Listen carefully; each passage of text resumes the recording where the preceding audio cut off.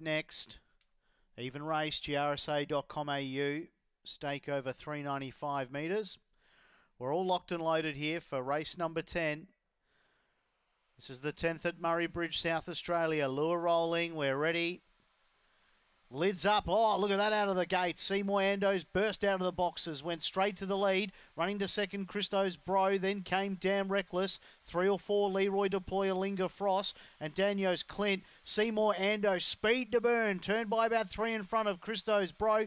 Damn Reckless. In front, Seymour Andos. Seymour Andos, too good, too speedy. In second, Christo's Bro. Third, Damn Reckless. Uh, then the head of the others would have been Daniel's Clint, who took a bite at De- Leroy Deploy past the line, and Alinga Frost was in that trio as well. Time around 22.4.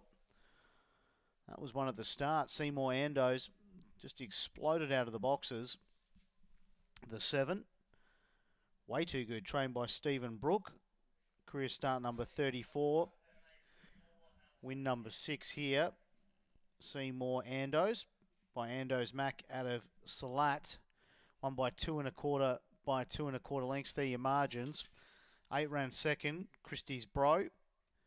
Dog by my bro Fabio out of Christie's Girl. Trained by Marty Doyle. Two round uh, third, Damn Reckless for Ashley Griffiths. And the four, Leroy Deploy. Was heavily tried, but was never really in the race as a winning hope anyway.